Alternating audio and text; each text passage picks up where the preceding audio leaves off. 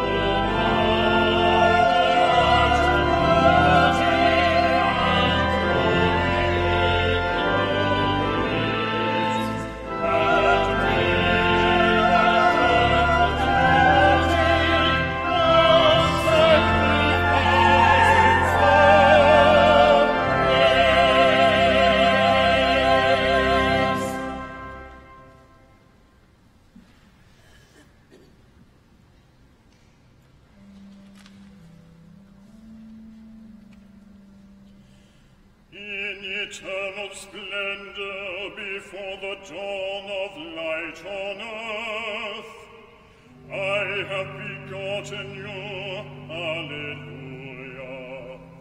The Lord's revelation to my Master, sit on my right.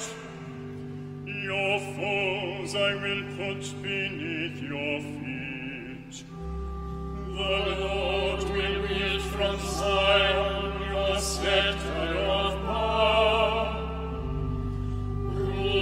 the midst of all your foes. A prince from the day of your birth on the holy mountains. From the womb before the dawn I begot you. The Lord has sworn an oath he will not change. He who at Christ wore, All things like holiness of light. The nest is standing at your right hand, Will shatter kings in the day of his great reward. He shall drink from the stream by the wayside, and shall. Glory to the Father and to the Son and to the Holy Spirit. As it was in the beginning, is now, and will be. Amen. In eternal splendor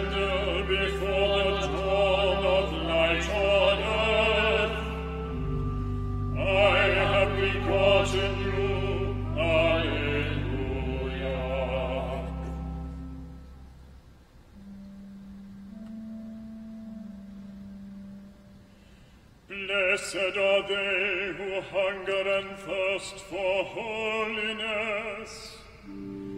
They will be satisfied.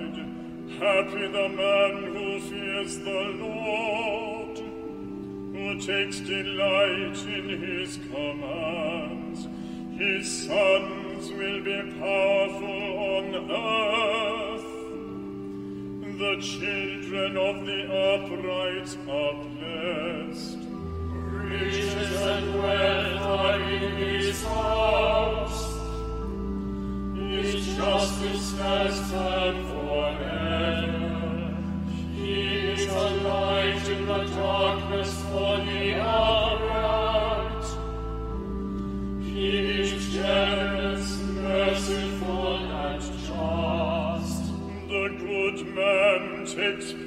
And lends. He conducts his affairs with honor. The just man will never waver. He will be remembered forever. He has no fear of evil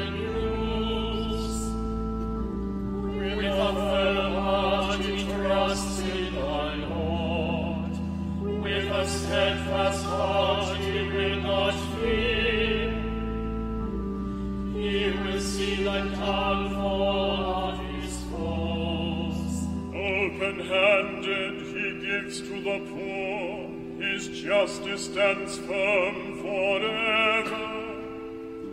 His head will be raised in glory.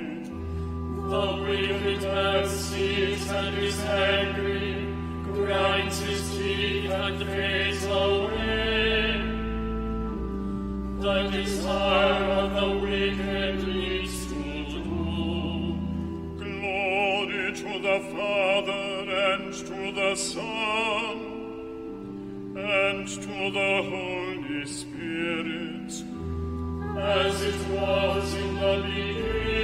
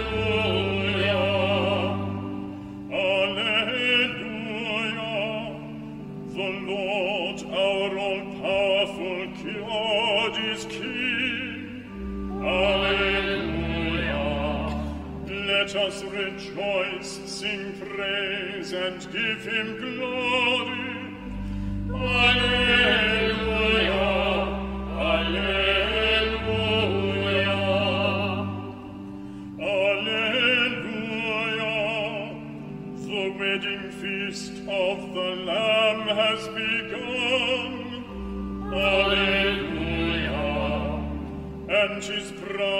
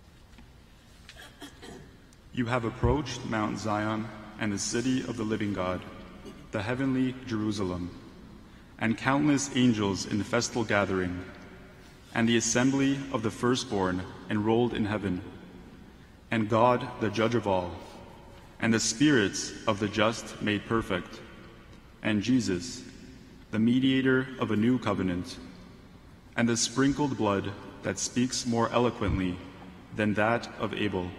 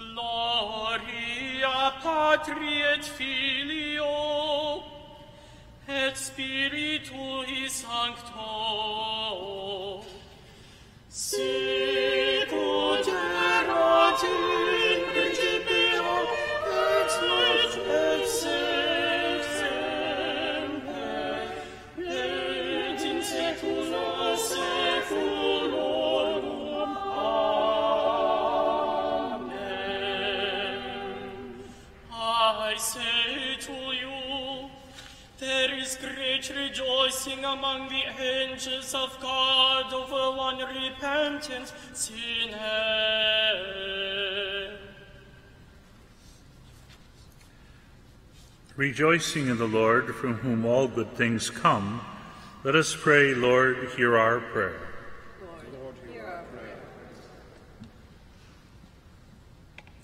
Father and Lord of all, you sent your Son into the world, that your name might be glorified in every place. Strengthen the witness of your church among the nations. Lord, hear our prayer. Make us obedient to the teachings of your apostle and bound to the truth of our faith. Lord, hear our prayer. As you love the innocent, render justice to those who are wronged. Lord, hear our prayer.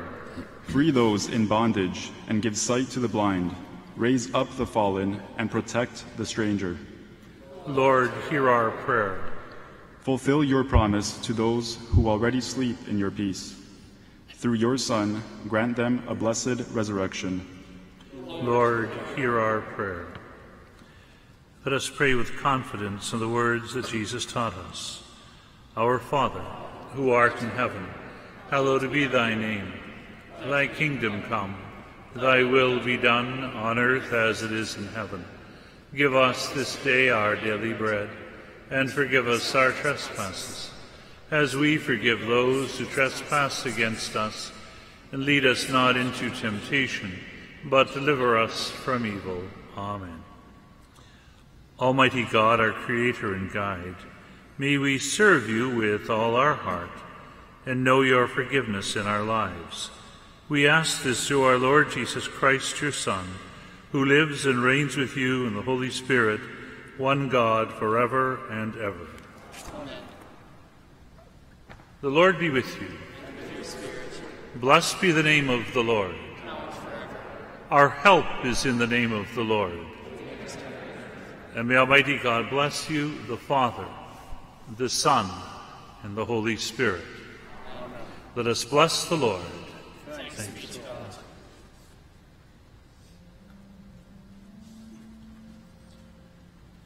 Regina Caeli,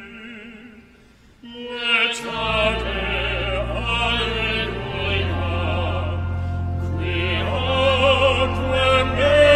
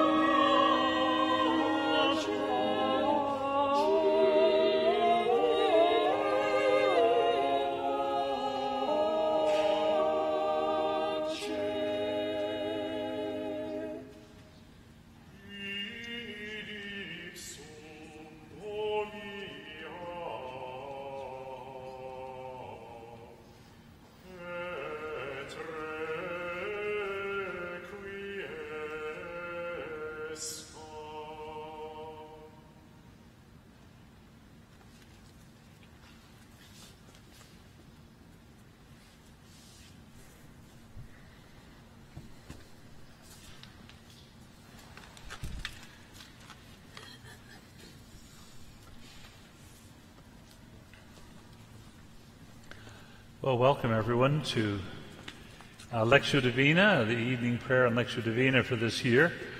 And uh, during this year, I'll be uh, leading meditation on various Psalms. And uh, I've been doing this for many, many years. Um, of course, the Psalms are a very important part of the divine office or the prayer that is prayer, prayed by priests, by bishops, by deacons, religious sisters, and by many lay people as well. It is the daily prayer of the church and is very, very beautiful. The Psalms themselves speak to us of the struggles of life, the joys of life, the anxieties we face, the dangers we face, what it means to be facing sickness and, and care and worry and concern. It strikes me that those are always important things to reflect upon, and the Psalms are powerful prayers in times of, of great need but in a very special way, perhaps, as appropriate, as we're all facing various uh, struggles and trials in this time of the pandemic, to go to the Psalms, to find in them the way in which we can draw closer to God and the way in which we can navigate through, with God's help, the various storms in which we find ourselves in these days. And so the meditations this term, this year, will be on the Psalms, maybe next year as well. They're so powerful. Many years ago, when I was first ordained, I'd, um, my bishop sent me, first of all, put me in a parish for a while to serve the people there, teach in a high school for a while. Then he sent me over to Rome to study at the Pontifical Biblical Institute, where I, I did uh, a licentiate in sacred scripture. And about a year or two after that, when I had only been ordained about five years or so, uh, I was asked by a bishop, uh, the, the, Archbishop of Regina, Saskatchewan, to do a retreat for his priests.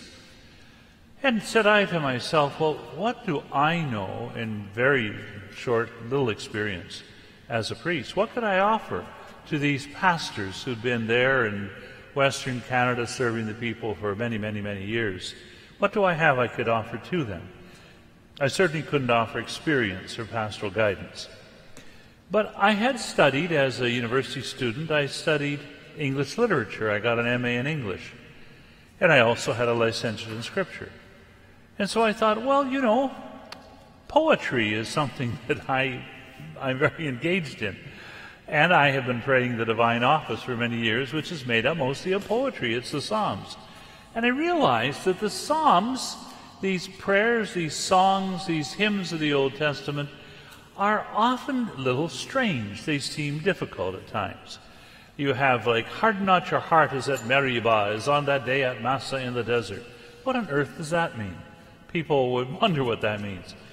And so, because I realize that people sometimes, especially priests who are promised at their ordination as deacons, to pray the divine office every day for the rest of their lives for the people they serve, that I might be able to help the priests to pray the Psalms of the divine office.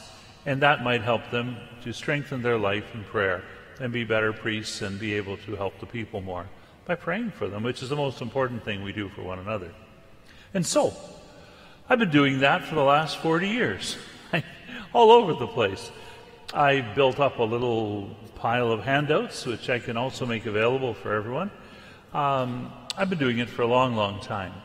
And I found it a great grace in my own life because when you share something and you go deeper trying to understand something beautiful and important, you help yourself, obviously, as well. So I've been deeply appreciative of that because I myself pray the divine office every single day. And I have been since, uh, well, I've been a priest 47 years. I began, well, I promised to do this when I was a deacon on May the 14th, 1972, when I knelt in front of Bishop Paul Reding in St. Eugene's Parish in Hamilton and was ordained a deacon. I promised to do it for the rest of my life then, and I've really been doing it for many years before. So we'll start with a show and tell. The divine office is this prayer that goes way, way, way back. Many religions have uh, prayers throughout the course of the day. Muslims do that, Jews do that, many different religions do. And the Christian people have done it from the very earliest days. You notice, for example, uh, well, St. Peter on the roof praying midday prayer of the Jewish tradition. Notice the different ways in which The Psalms, which are found in much of the Jewish prayer, found their way into the life of Jesus. In the Garden of Gethsemane, he was praying ad libbing a prayer to the Heavenly Father. But on the cross, he prayed a psalm. And that should teach us about the importance of the Psalms, which are the main content of the divine office. It's sometimes called the Liturgy of the Hours because it's meant to go through time. It's making time sacred, and our lives are made up of time. That's the fabric of our lives. And so it is if the, the monks do this uh, in monasteries. I usually go for a retreat when I can get across the border, which I can't these days. I go to the monastery of Genesee, a wonderful Trappist monastery. And there they have the first office of the divine office is at 2.30 in the morning, which is always very bracing and exciting early, early morning. And that's when they, they pray, they have a hymn, some psalms, a reading from the scriptures, and a reading from the spiritual tradition of the church. This is called, for the rest of us who are not monks, is called the office of readings. And I usually pray it when I first get up. I get up pretty early. I'm an early bird. Ever since I delivered the Globe and Mail as a high school student, I get up quite early, around 5.15 or so. And I go down, make a pot of coffee, which is required for prayer, I think, according to Bishop Sheen. Uh, have a little bowl of cereal. Then I go up and begin my holy hour. And what I do is I start with the office of reading. So it's some Psalms, a reading from Scripture, and a reading from the tradition of the church. Then I pray morning prayer, which is very often prayed by people in church.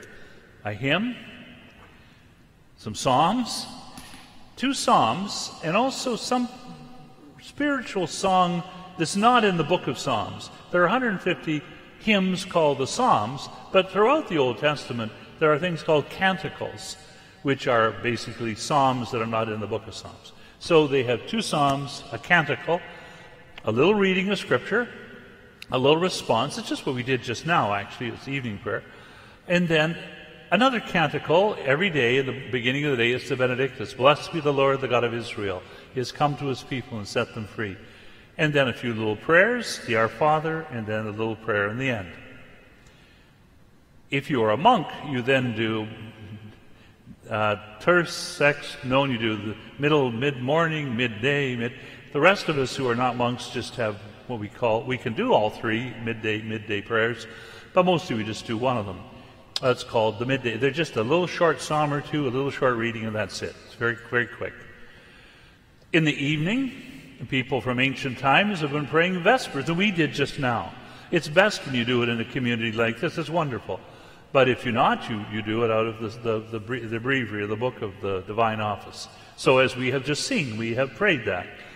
It's, oh God, come to my assistance. Oh Lord, make haste to help me. Then a hymn, some psalms, and this time the canticle is from the New Testament. And then we had one from the book of Revelation, the Apocalypse. A reading, a response, the canticle of Magnificat, which was sung in the beautiful Latin. We chanted that as I went around incensing the altar. And then we have some more prayers for the people, the Our Father, a little closing prayer, a blessing, and that's it. So we've just prayed the evening prayer, and we do that uh, every time we have Lectio Divina. The final office, the final hour, is called Compline, or night prayer. And it's very short, so short you can memorize it. Uh, there is one for seven days of the week, but some people just memorize the one for Sunday. And uh, it is a little introduction, an examination of conscience, and then a little psalm or two, a little hymn, a psalm, a little brief reading. And the canticle is Now, Lord, dismiss your servant in peace, the canticle of Simeon, a little short prayer. And then we end off today with a something, a song to Our Lady, as we did the Regina Caeli at the end of evening prayer. That's why at the funeral of a priest, the first, the just before they roll the coffin down the, the aisle, we sing usually the Salve Regina. Hail, Holy Queen, Mother of Mercy, our life, our sweetness, and our hope. And then once you finish the hymn to Our Lady, click out the light, go to bed, put it all in the hands of the Lord. So this is something monks pray through the night, priests, sisters, deacons, Many lay people pray at different stages. We can take our pick from what is there.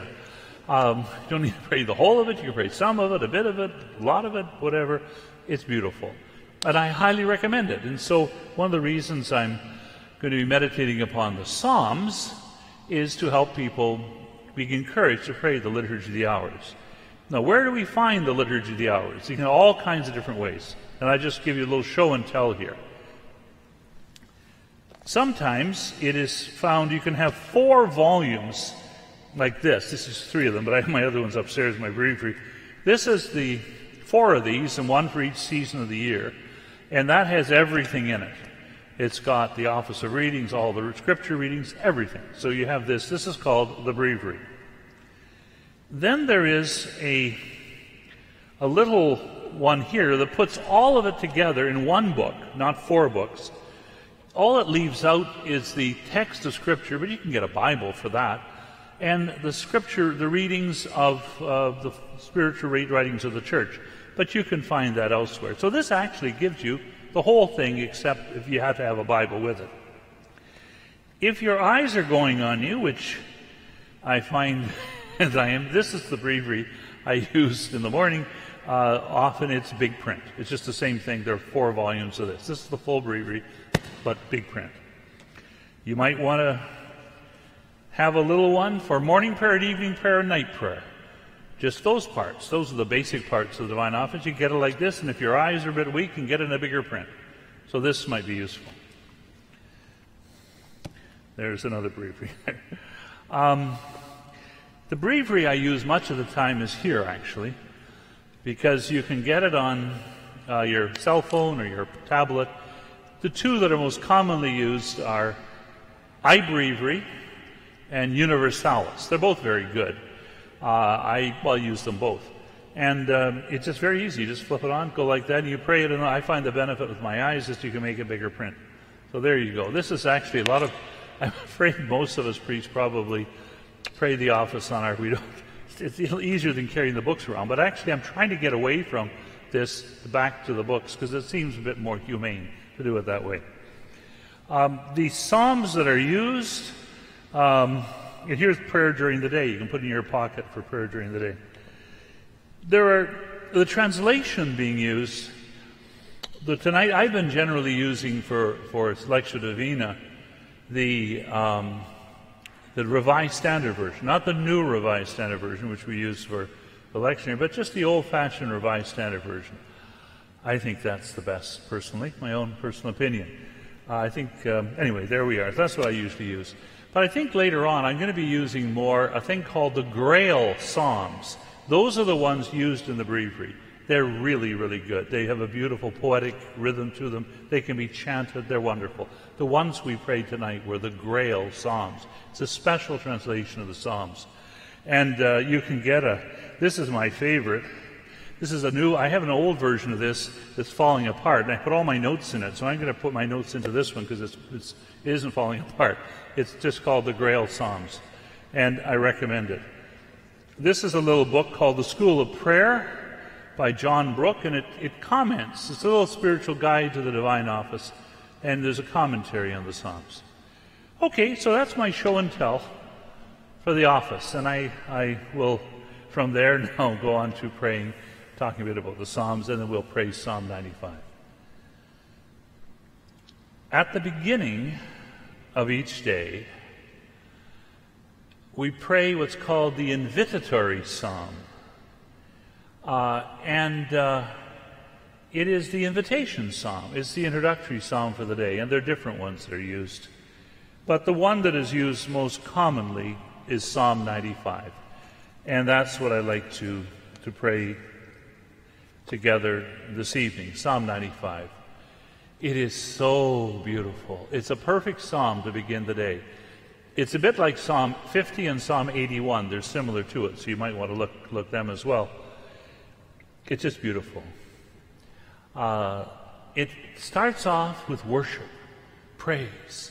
And watch as we pray this the titles of God. Always watch and praying the Psalms King, Rock, Shepherd, Creator. Just always watch the flashing the titles of God that show us more and more how we encounter God in our lives. It starts with great joy, and then it starts with an exclamation point Come ring out our joy to the Lord. Hail the rock who saves us. Let us come before him giving thanks. With songs let us hail the Lord. Enthusiasm, which we should have. We don't want to be blah. But then why are we enthusiastic in our faith? Because of the fact of God. Our faith is not generated from emotion or enthusiasm.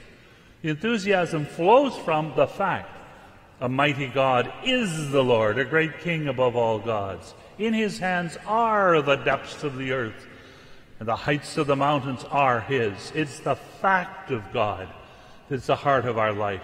And all the rejoicing sort of flows from it. The fact of our faith is like the nugget at the front of a comet, and all the bright streaming after it only comes out of that big hard rock at the front. It's got to be there. That's why doctrine is essential. We're not all about how do you feel about things. That comes and goes like the weather. You don't live with that. It's the reality, as as uh, John Henry Newman said, religion without doctrine is like filial love without a father. And so we have, so the center, then you have, uh, mighty God is the Lord, a great King. Then come, ring out our joy. He goes into another enthusiastic burst of praise. Then shift gears, like that. Oh, that today you would listen to his voice. Harden not your hearts as at Meribah, as on that day at Massa in the desert. Meribah and Massa were where the Moses was whacking the rock. He didn't trust. He kept hammering away because he didn't trust God would provide. Do not harden your hearts as at the day of Massah, the testing, or Meribah, contention. Oh, that today you would listen to his voice. Harden not your hearts as at Meribah, the day at Massah in the desert, when your fathers put me to the test, when they tried me, though they saw my works. For forty years I was weary to these people, and I said, Their hearts are astray. These people do not know my ways. Then I uttered an oath in my anger Never shall they enter my rest.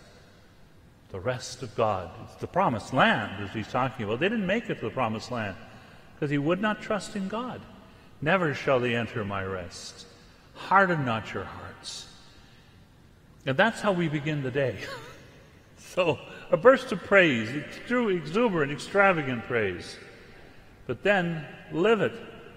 You know, the, the proof of the pudding is in the eating. You know, it's where the rubber hits the road. These are all images that are not used, fortunately, in the Psalms. But that's the point. Don't tell me, I love you, Lord, I love you. Well, do that, yeah, but, but you better don't harden your heart. Let's obey. Listen to his voice. That's what we need to do as well. And that's the message given to everyone who begins the divine office. Let us give our lives an extravagant worship. But then, and that worship is based upon the fact of God's presence. And then obey Him, live accordingly. Remember, we praise God in the imperative, but God lives in the indicative, what is, not the exclamation point, the period. He is there. That's why I'm always suspicious of religion that's made up simply of, of pumped up stuff. That always has to flow from something more solid. Anyway, that's a little introduction to Psalm 95, which is the introduction to the divine office. Uh, o Lord, open my lips, and my mouth shall proclaim your praise. So let's now enter into a little prayer of that, and I'll use tonight. I will use the. Uh, I may use both, actually. I'll use the uh, Revised Standard Version because I think that's what people have, and that's what I usually use. And it will be a little odd for me because what I just prayed you there is what I've done for many years. As you can tell, I haven't memorized. Um, but I've been praying it for many years aloud. By the way, pray the Psalms aloud if possible. There used to be a rule that priests, when they pray the divine office, have to move their lips. And that makes sense because you don't want to speed read the Word of God. That's one reason why doing it from an iPhone is not so smart. You end up just zipping through. Let's slow down. And so Pray the Psalms aloud if possible. You may need to turn off the sound if somebody's nearby, but at least pray it kind of, don't speed read anything. That's why we pray it in chant it back and forth. Okay, let's start the divine. this is a bit of a lengthy introduction. We'll, we'll pray now Psalm 95. In the name of the Father, and the Son, and the Holy Spirit. Amen. Heavenly Father, we ask you to fill our hearts with your love. May we open our hearts to you. Forgive us our sins, which are a barrier, which block the pathway to our hearts. Speak, Lord. Your servant is listening.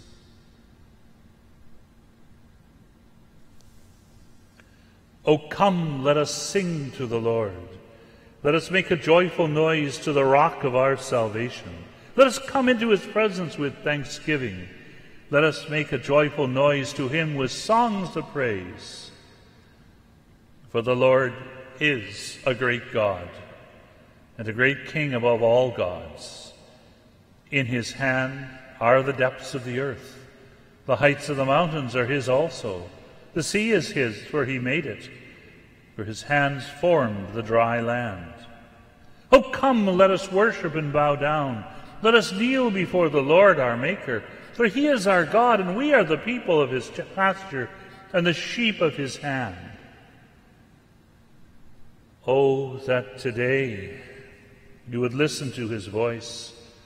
Harden not your hearts as at Meribah, as on that day at Massa in the desert, when your fathers tested me, when they put me to the proof, though they had seen my work. For forty years I was wearied of that generation and said, They are a people who err in heart. They do not regard my ways. Therefore I swore in my anger that they should not enter my rest.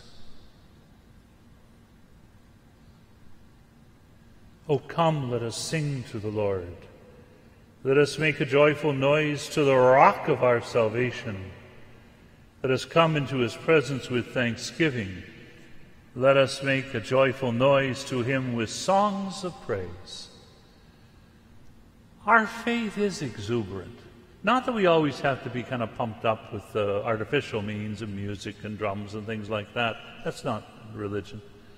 But it is joyful, it's superabundant, it's extravagant. Come, let us worship the Lord.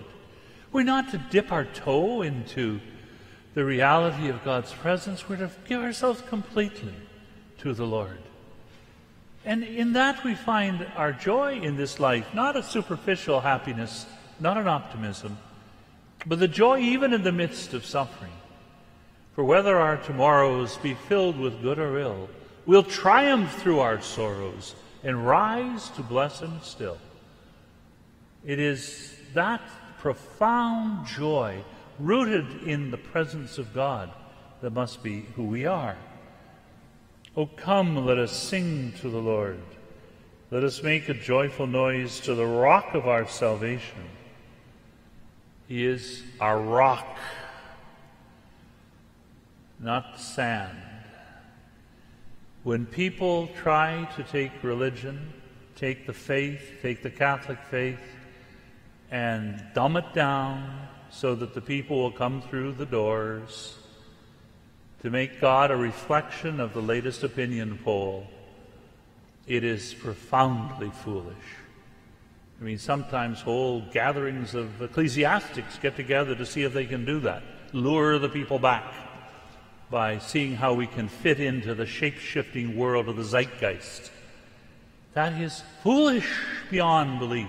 It doesn't work, among other things. The church is empty at a faster pace. But it's just not who we are. He is the rock of our salvation. Can a house built upon rock will survive, as the Lord says in the Gospel of Matthew. It will, will be there.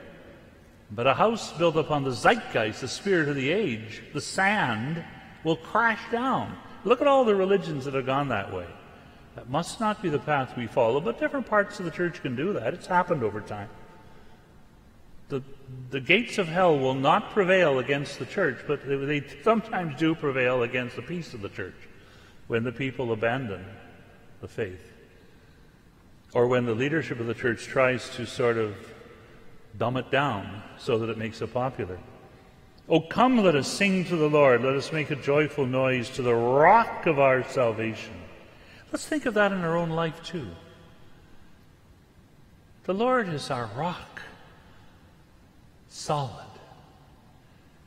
That's what Jesus called Simon. Rock, rocky. I'm building the church on you. Not jello, rock. And so our faith shapes us. We don't shape our faith. If we do, we got a pretty pitiful thing. Our, our faith resists our own ego. It shapes us. It is the rock upon which we build our lives. Let's ask the Lord to help us be more trusting in God and more obedient to His will and not trying to change the faith around to fit ourselves, but to realize God is the rock of our salvation.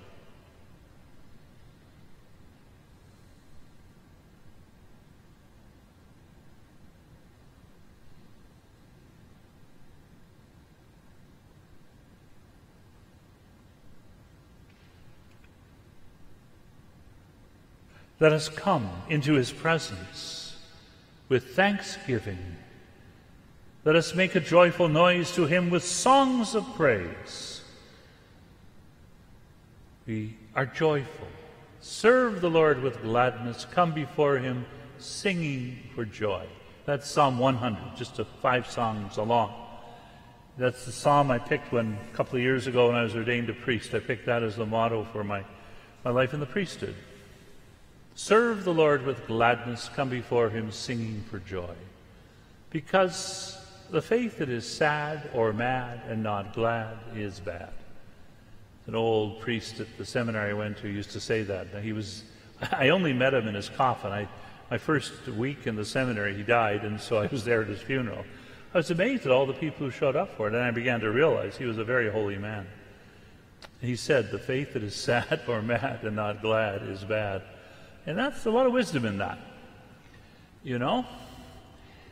Our, that doesn't mean we have to be always like kind of putting on a phony, oh, hi, how are you? You know, that, that's, that's, that's superficial. And some days, you know, you may feel good, some days you may not feel so good. That's irrelevant. What, we're, what it is here, the joy is deep. It is based not upon our emotions, our subjective feeling of the moment, it is based upon our encounter with the living God. And that allows us to be joyful in the midst of great suffering. Mother Teresa used to screen her applicants for a very difficult mission of serving the poorest of the poor. If she found a, uh, a novice who wasn't joyful, she told her to go home because she couldn't do this difficult work. You have to have that deep joy based upon the Lord. And only that will give us the ability as well to reach out to the world. It's so often, I think, with people, if you ever look on Catholic Twitter, oh my gosh, it's not exactly coming out our joy to the Lord. See how these Christians slice one another. This is not the way to be. That doesn't mean we're supposed to be kind of naive. I mean, the, the problems we're facing are incredible, obviously. But, and it's not no occasion for happy, kind of happy clappy stuff. But their deep inner joy comes from the rock of our salvation. Let us come into his presence with thanksgiving. Let us make a joyful noise to him with songs of praise. Let's do a little examination of conscience now. Have I rooted my life in the Lord, who is the rock of our salvation, so that I'm able to live with a serene trust, not in myself, but in the Lord, so that I am able to have that inner deep joy, that serenity based upon faith and a vision of God. To find that, we need to go close to God, to the rock of our salvation. O Lord, forgive us, forgive each one of us for the times we have become too absorbed in our own selves and have lost that evangelical joy of the good news of salvation.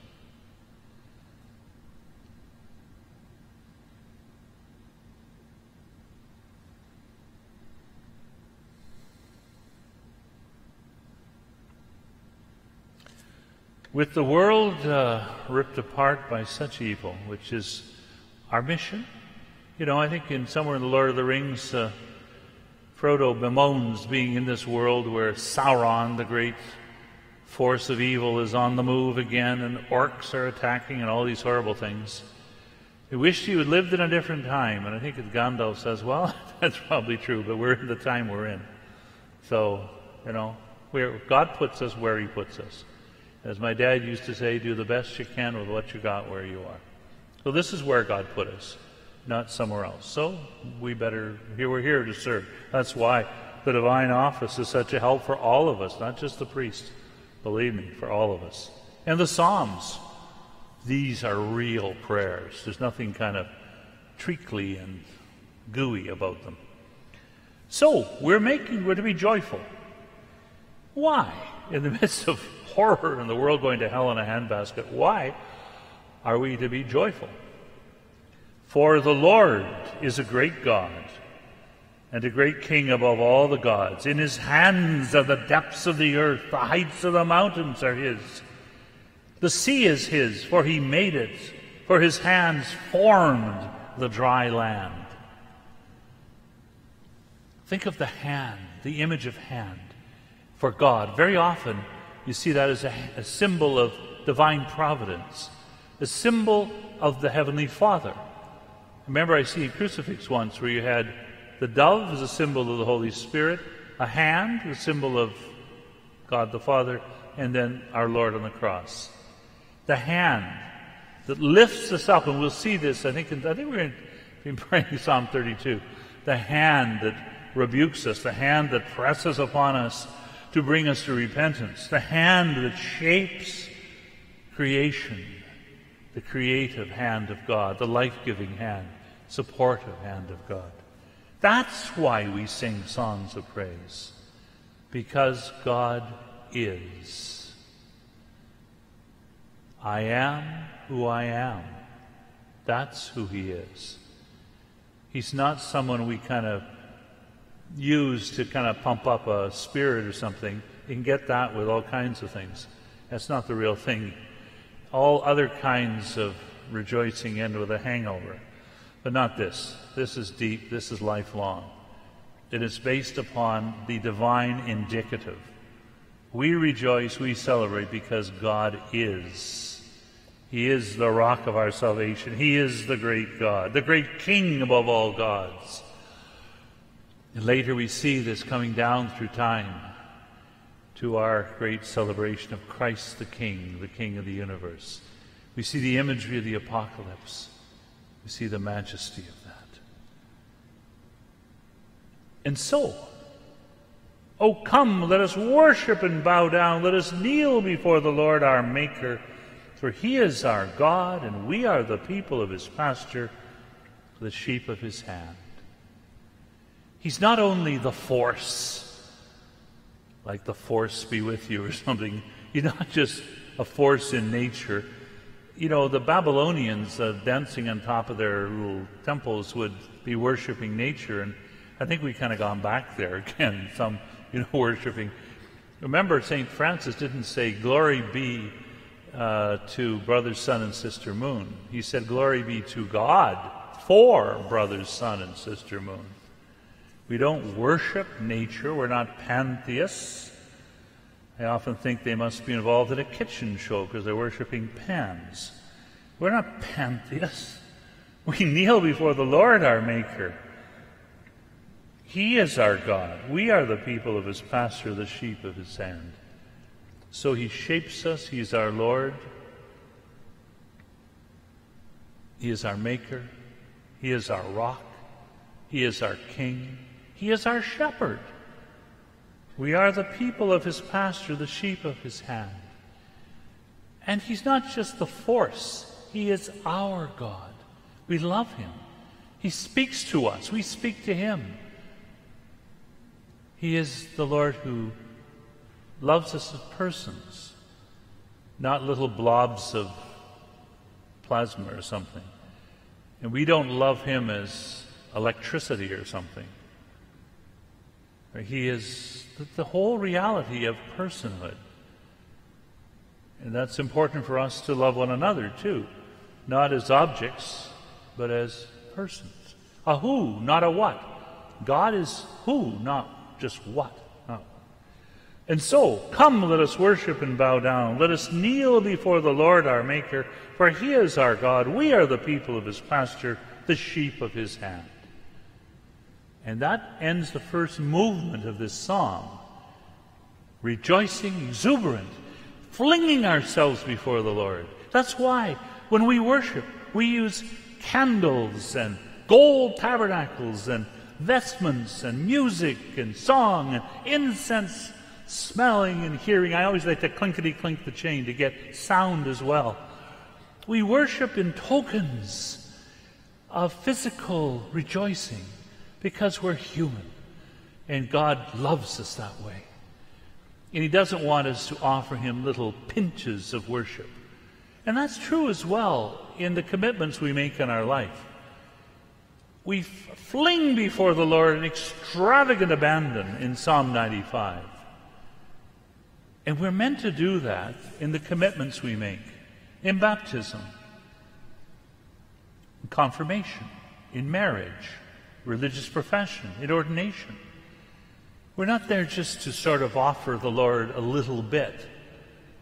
This is exuberant, extravagant, magnificent gift of self. That's another reason it's good to pray this psalm the first thing every morning.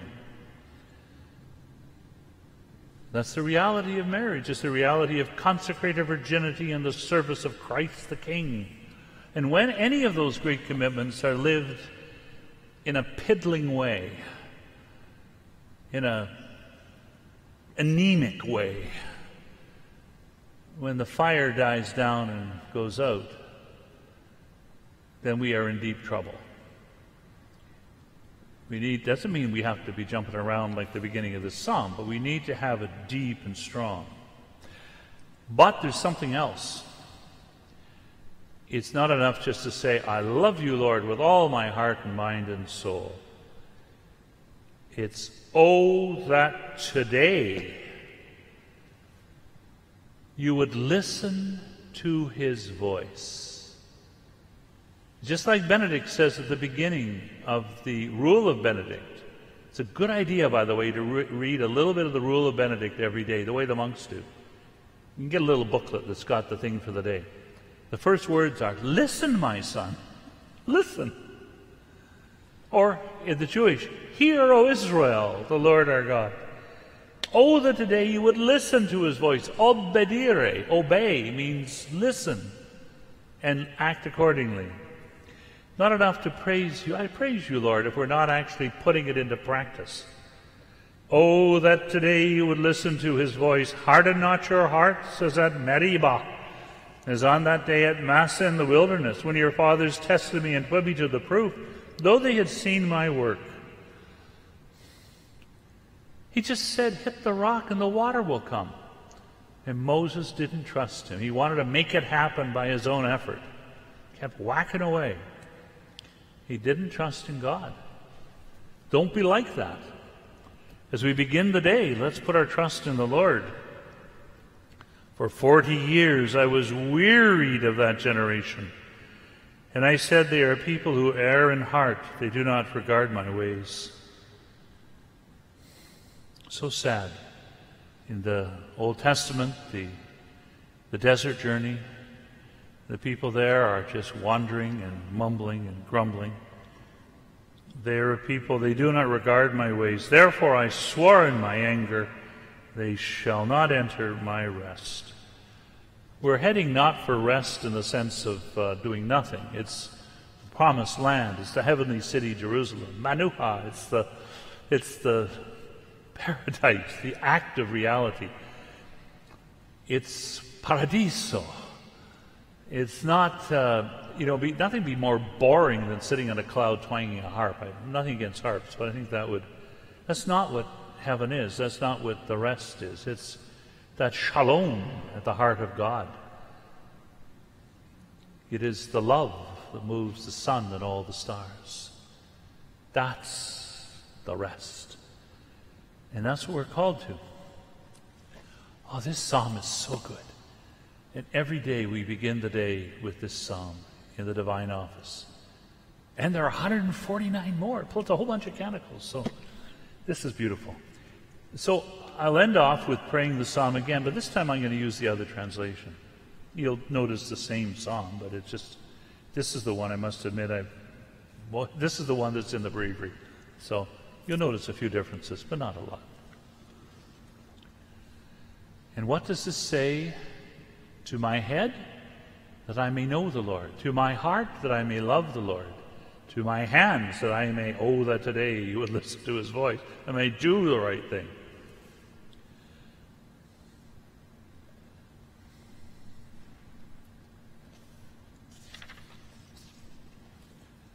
Come, ring out our joy to the Lord. Hail the rock who saves us. Let us come before him giving thanks. With songs, let us hail the Lord.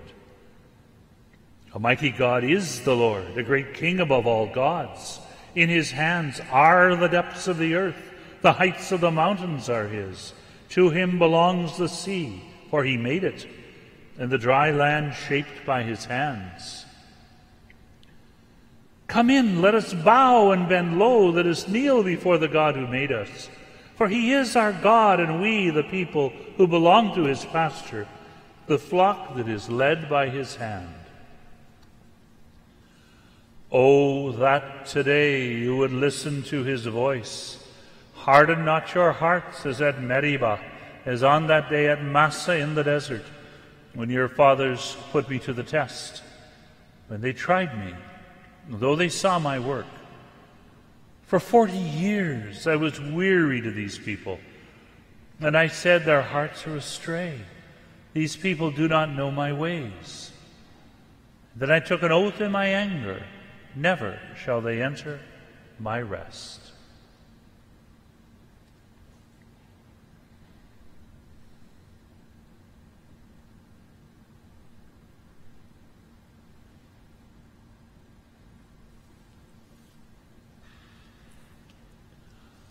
Our Father, who art in heaven, hallowed be thy name. Thy kingdom come, thy will be done on earth as it is in heaven.